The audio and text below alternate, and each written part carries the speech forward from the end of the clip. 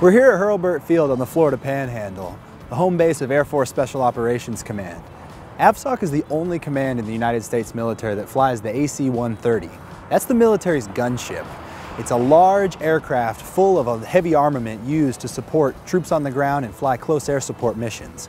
We're gonna go check it out and talk to the pilot and the crew to learn a little bit more about how they use this unique aircraft.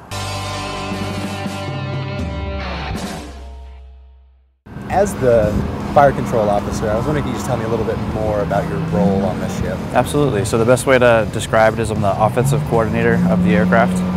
Um, I'm really in charge of the tactical situation and the crew coordination between myself, the sensors, and the pilot. The C-130 is, you know, one of the most widely used aircraft in, you know, the entire U.S. Armed Forces.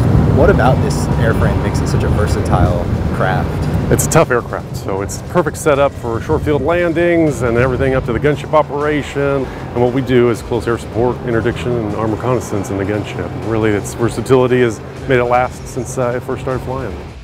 Well, as a gunner, uh, primarily our role is to maintain uh, and whenever maintain the weapons. And whenever a weapon decides to malfunction, it is our job to get in there and ensure that weapon gets back to working shape so we can and, uh, continue to prosecute the enemy. In combat, we normally carry 13 to 14 crew members. At home station, because of training, we can have up to 21 on the airplane. We got a lot of moving pieces, but a lot of experts in different crew positions, which really helps build our combat situational awareness. During a normal flight, uh, combat flight, we'll have three gunners operating the weapon systems, and then we'll have one gunner laying in the back of the aircraft scanning uh, defensively, and another gunner in on the right side of the aircraft also conducting defensive scans. There are a lot of different mission sets that we can support, interdiction, armed reconnaissance, we can shoot boats, planes, whatever it may be, vehicles that are interfering with the friendly ground party.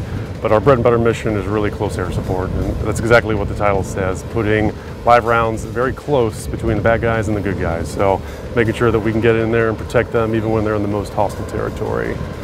You know, when you're when you're downrange and identifying targets, how do you select the right gun for the right job? A lot of it is experience. Uh, I've been lucky enough to be in the aircraft for a while.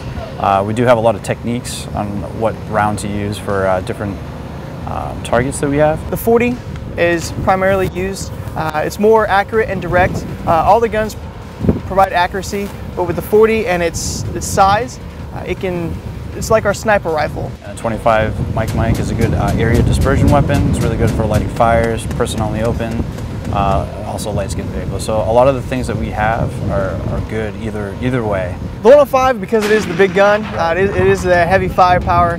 Um, it's it's more used for destruction purposes. And is there anything specific about the C-130 that, that really makes it kind of well suited to, to being a gunship and to carrying those heavy weapons? Absolutely. So the aircraft flies a lot slower than some of the other uh, close air support assets, some of your fighter types which really helps us extend our time on station, basically how long we can stay overhead the good guys on the ground.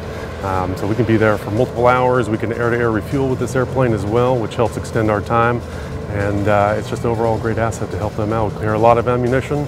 Um, anytime we receive a fire mission too, we can have rounds out within seconds versus a little bit longer time on some of the other platforms. We have an extensive defensive system suite on board. Uh, we have a crew member, the electronic warfare officer, and their primary job is to maintain defense of the aircraft at all times.